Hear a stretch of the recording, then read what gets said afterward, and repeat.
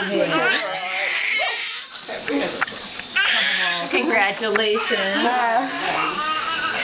what do you say, Mom?